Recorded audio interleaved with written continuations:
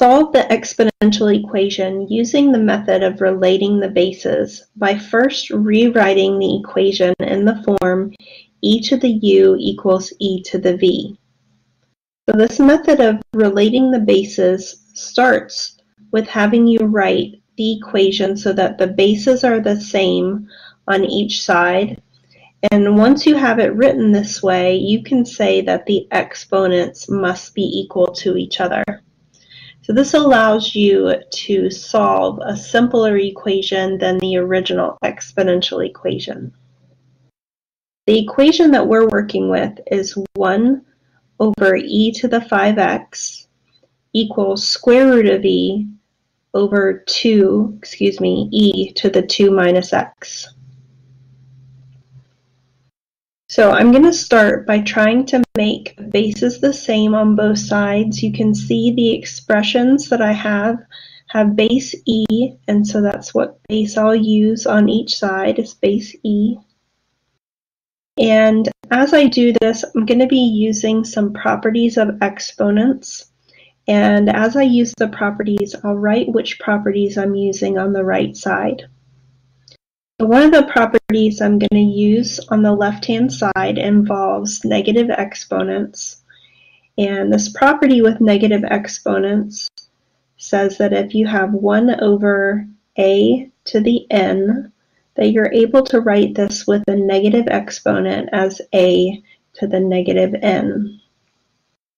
And it goes back to having negative exponents means reciprocal of the base.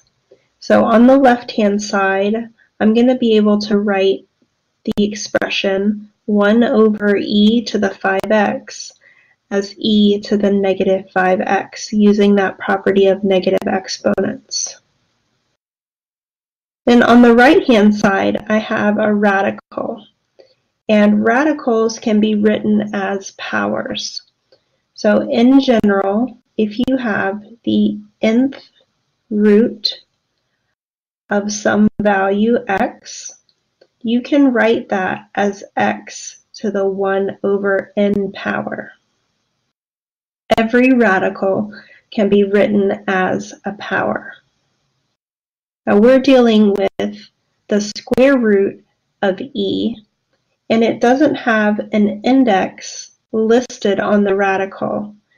And when you have no index listed, we know that that's the square root and the index is 2. So I'm going to be able to write the square root of e as e to the 1 half power. I'm going to copy the denominator down. And the next property of exponents that we're going to use involves the fraction that you see on the right. And we call this uh, property that we're going to use the quotient rule for exponents.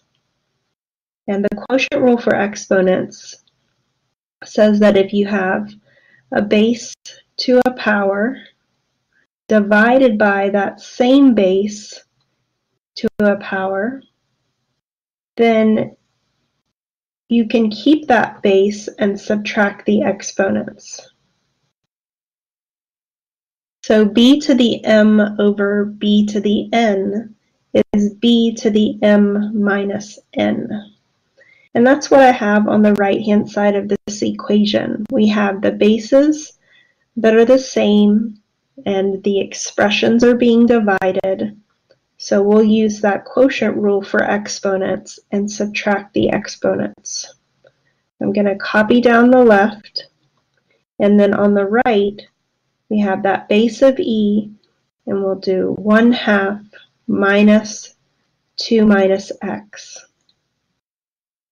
The bases are the same on each side of the equation now. And now that those bases are the same, I can say that the exponents must be equal to each other.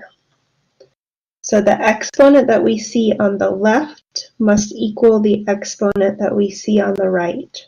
So this is using the method of relating the bases, or other sources might call this the one-to-one -one property of exponents. We can say that negative 5x is equal to 1 half minus 2 minus x. And this gives me a much simpler equation to solve now that those exponential expressions are gone. So I'll use the distributive property with this negative. Negative 5x equals 1 half minus 2 plus x. And it'll be a little easier to solve this problem if I didn't have a fraction. So I'm going to use the clearing fractions method and multiply 2 times every term. That would give me 10x equals 1 minus 4 plus 2x. Let me copy the equation down up here so I have a little bit more space to work. On the right hand side I have some like terms. 1 minus 4 is negative 3. And I'd like to collect the x's, so I'll subtract 2x on both sides. That gives negative 12x equals 3. And then I can solve for x by dividing by negative 12 on each side. That gives x equals negative 1 fourth. So x equals negative 1 fourth is the solution to this equation.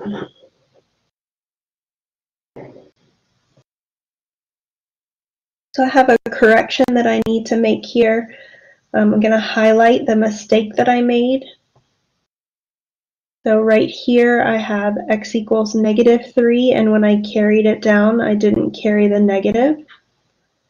So I'm going to correct this to be a negative 3 and negative 3 divided by negative 12 would be a positive 1 fourth. So the solution is x equals 1 fourth.